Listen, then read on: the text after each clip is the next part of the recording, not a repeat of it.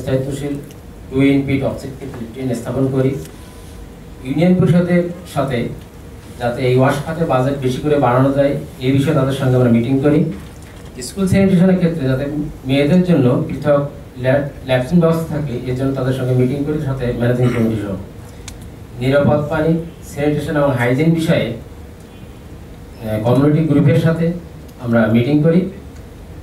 এবং একই সঙ্গে ইউনিয়ন যে ওয়াটসন কমিটি আছে, এই ইউনিয়ন ওয়াটসন ওয়াটসন কমিটি বেশিরভাগ ক্ষেত্রে ইনঅ্যাক্টিভ তাদেরকে অ্যাক্টিভ করার চেষ্টা করি এবং তারা যাতে তাদের কার্যকারিতা আরও বৃদ্ধি করে, সে লক্ষ্যে কথা বলি।